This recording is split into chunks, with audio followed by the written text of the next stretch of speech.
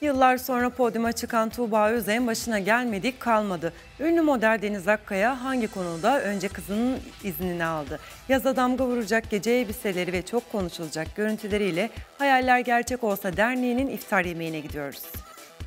başka Yedi alem var senden Yok başka Deniz Akkaya'dan özel hayatıyla ilgili çarpıcı açıklamalar.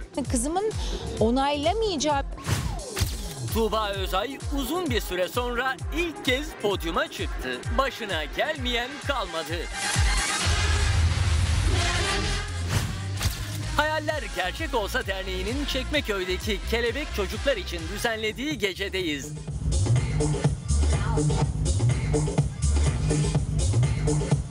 Bu özel gecenin konuklarından biri de bol paçalı pantolonunun üstüne payetli bir bluz giyerek göz kamaştıran Deniz Akkaya'ydı. Bu arada ünlü modelin yaz moduna geçerek saçlarını değiştirdiği de gözümüzden kaçmadı. uzun süredir e, kızım doğduğundan beri saçlarımı kestirmiyordum ben. E, yaklaşık 6 sene oldu artık biraz değişiklik zamanı gelmişti.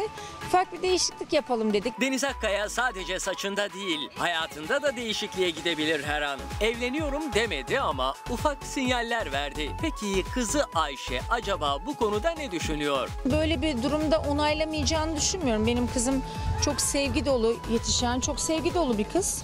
Ben onaylamayacağını düşünmüyorum. Ama benim yani kızımın onaylamayacağı bir insanla ben birlikte olmam zaten. Anne kız tatil planları da yapmaya başlamış birlikte. Bir ayımı tatil yaparak geçireceğim.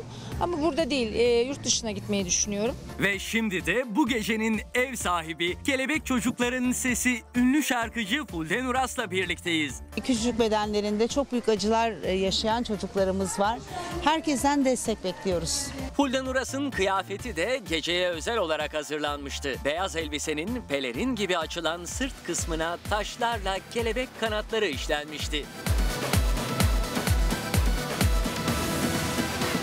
Bu özel kostümü hazırlayan ünlü modacı Muammer Ketenci, Hayaller Gerçek Olsa Derneği yararına bir de defile düzenledi. Bakın 2016 yılının son günlerine kadar hangi kıyafetleri göreceğiz hanımların üstünde.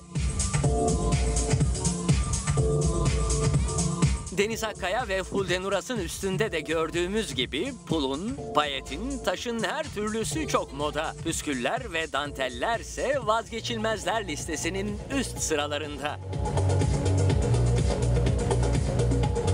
Dekolteler ölçülü, siyah beyaz gibi kontrast kesimlerse özellikle balık etli hanımların imdadına yetişecek gibi.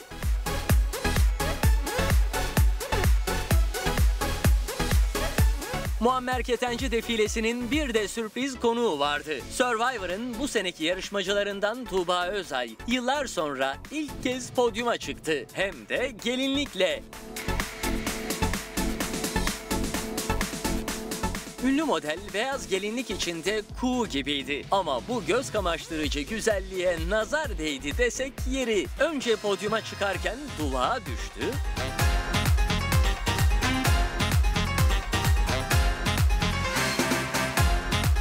Sonra tam şarkı söylemeye başlamıştı ki ses tesisatı arızalandı.